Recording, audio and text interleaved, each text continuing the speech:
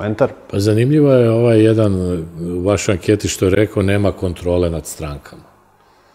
Znači, tu je suština. Znači, i ta budžetska sredstva koje oni dobijaju ili koje nekontrolisano koriste na ovaj ili na onaj način ili zlopotrebljavaju, to je isto dodatni problem. Znači vi, ako vi sad ne znate da li on obavlja državnu funkciju ili obavlja partijsku funkciju, sad zamislite, vi on zakupi prostor 24 sata se emituje spot recimo što je spomenuo Cvjetin, tipa kao ovo za Olivera Ivanovića. Šta ćemo mm -hmm. s tim?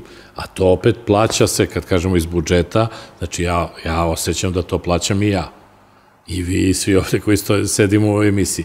I sad s te strane je jako, jako teško, a, nije ravnopravna naravno borba da vi sada, naravno da će ići na najgledane, ići će na, na, na televiziji sa nacionalnom frekvencijom ili na listove koje su oni napravili da budu najtiražniji poput informera i, i tome slično. I onda će oni tamo puniti jer će se oni o, obraćati svojoj populaciji koja glasa za njih i znaju tačno ko to gleda. Naravno da oni neće obraćati pažnju na ove manje sredine ili još više neće uopšte obraćati pažnju na one koji govore kritički o tom.